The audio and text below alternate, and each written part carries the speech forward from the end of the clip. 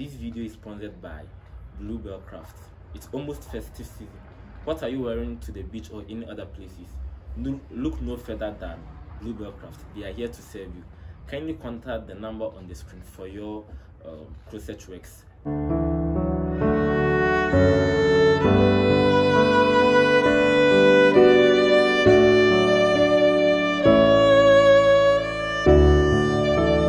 Hello, Ajecha. I'm very excited you received our invitation and you didn't decline it. I'm very happy to have you on my show. I'm also happy as well. So, can you give us a little introduction about yourself? Okay, sure. So I'm Adjoecha Mankwa, an aspiring optometrist and a third year student of Kwame Nkrumah University of Science and Technology. So I'm looking forward to share my knowledge and passion for eye care to you all. Thank you. Okay, thank you very much. So, what inspired you to become an optometrist? Okay. So my inspiration to pursue a career in optometry stemmed from my personal experience. So as I was growing up, Mm. my grandfather moved in to stay with us. And through his stay, he had cataracts, which ultimately led to his vision loss.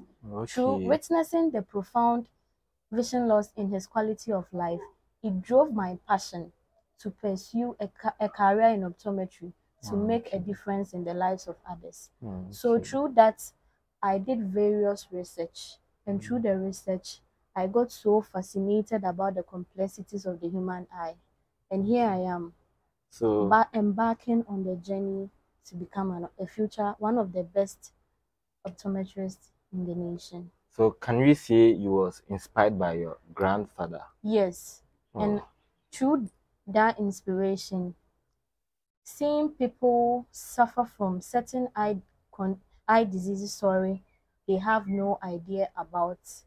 Sometimes it saddens me. oh, So I'll be like, what can I do Do in my help. power to help those people? oh, okay. Yes, that's why. Right. So, in your definition, there were some scientific words, or there are some scientific words you want you to break down us. Okay. So, you want to know the difference between optometrist, mhm. optician, and ophthalmologist. Yeah. Okay. So there are all these people help help They are sorry professionals in eye care. So when you take ophthalmologists, they are doctors that perform surgeries. Eye doctors that perform surgeries. Okay. Okay. So optometrists are also professionals. They hmm. diagnose, All right. treat, and management diseases and disorders of the eye and visual system. Okay. So optometrists they don't They perform, don't perform sur- surgery. Yes. Oh, all right. Yeah. So that's the difference. Then- And we have opticians. Okay. Opticians are those that fix glasses Oh, and contact lenses. They So- design and fix glasses and contact lenses. So, like when you go to the eye care, Mhm. like eye care hospital, Mhm. those that give lenses are op- optician, right? Yes, we Mm. give them the prescription. Oh, okay. So they Yes. they are controlled by um yes, Oh, to give out the glasses. So meaning all these three people work together. Yes, we each- work hand in hand Okay. to, you know, make sure that everything is in order. So is yes. there a specific hospital having only optician, or you, you always find all these three people in um, one hospital? Oh no, it doesn't work we that can have a- Sometimes you can have ophthalmologists there. Yeah. Sometimes you can have optometrists there. It depends. Oh, okay. Okay. All right. So But Um, normally, optometrists are Mm. mostly in the clinics. oh, okay. Yeah, right. they are the ones who are mostly there. So do we have um, um ophthalmologist hospital, like a hospital for only ophthalmologists for them to be doing eye surgery, only eye surgery, or Oh, okay. I think we have hospitals like that available, but there'll be one or two Two. optometrists also oh, around. alright. Yes. so what are some of the misconceptions people have about eye health? Okay.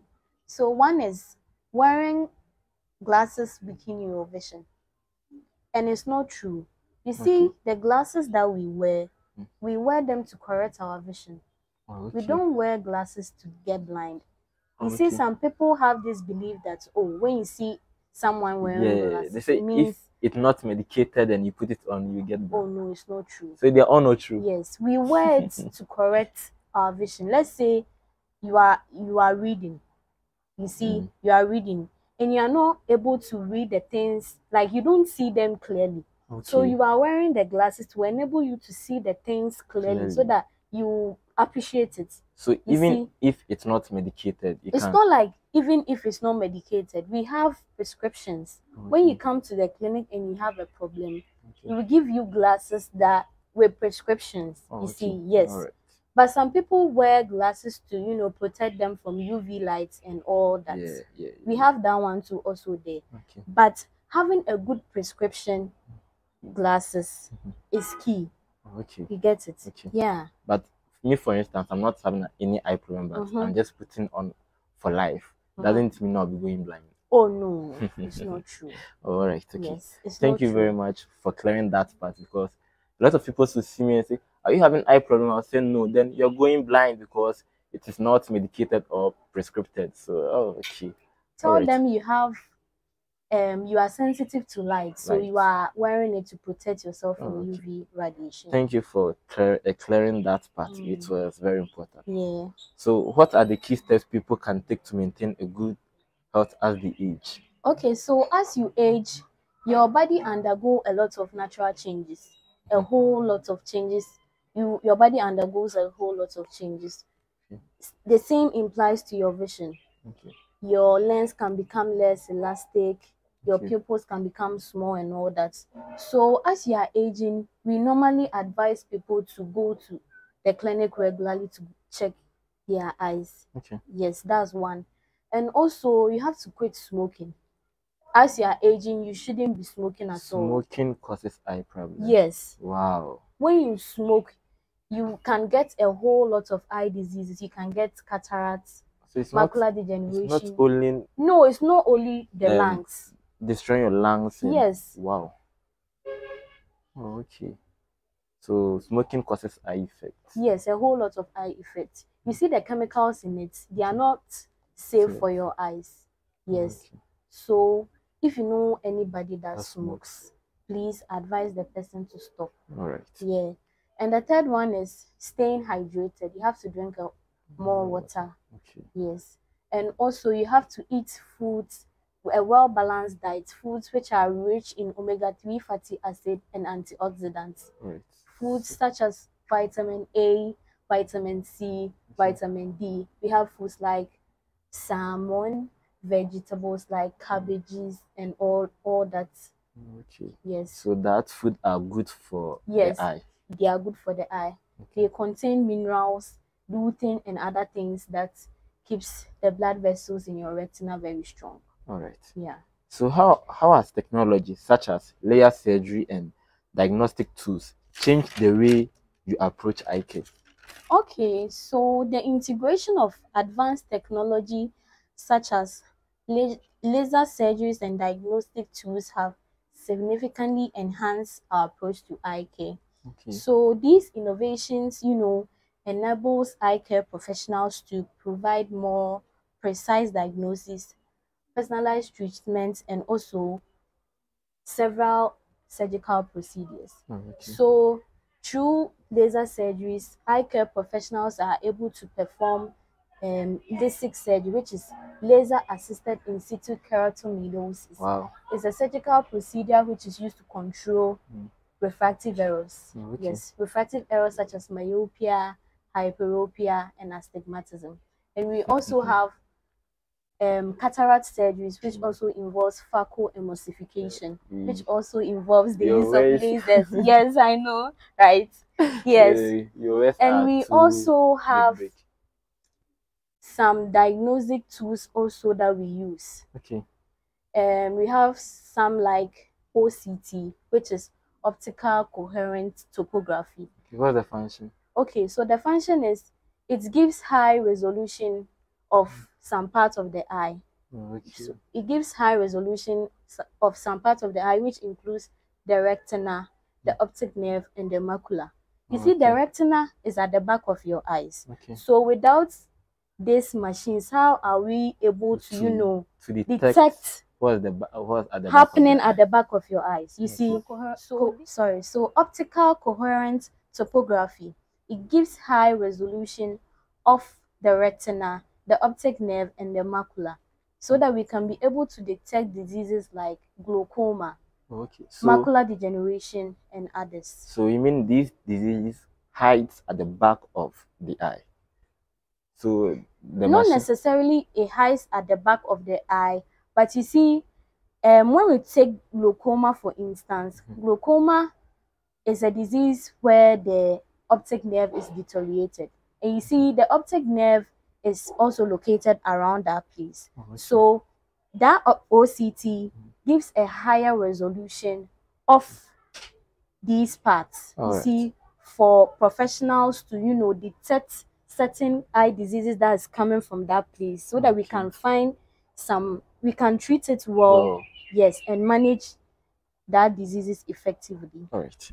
So, what are the warning signs of serious eye conditions like glaucoma or macular degeneration? Okay, so when we take glaucoma, glaucoma is an eye disease Mm. which occurs, which damages the optic nerve. You see, the optic nerve consists of millions of nerve fibers which send signals to the brain for it to interpret Enable- it so that it will enable us to what? See. See. All right. So imagine your optic nerve is damaged. So Okay. You have a whole lot of problem. So your vision will be distorted, Mhm. eye pain, redness, and a whole lot. Okay. Yes. So normally people with glaucoma, glaucoma has no cure. So normally people with glaucoma, most at times we advise them and then we encourage them to, you know, take their medications seriously. okay. Yes. So, what are some of the effects? Um, how can I detect um um You have glaucoma. or maybe any eye problem? Oh, that one, it depends. You see, somebody will have some problem. Maybe will have redness of eye and other things. But immediately you see you have those problems. That's why it's advisable to, you know, go to the eye clinic. That's what we normally Mhm. advise people to do. Okay. So, must Yes. you visit there every month? Like how we go for checkup monthly? At least, yes. At least um in a year you should go to the eye clinic for maybe two times a year or maybe Mhm. three times a year. It's good. So, for me, for my left eye, Mhm. you see, it always runs out of tear, even if I'm not crying. you feel you feel that yeah, tears. It's it, I'm, I'll be walking outside and somebody will say, "Yo, why are you crying? Clean up your tears." But just the tears just keep on coming. mm, So is that also sign of maybe I'm getting an eye problem?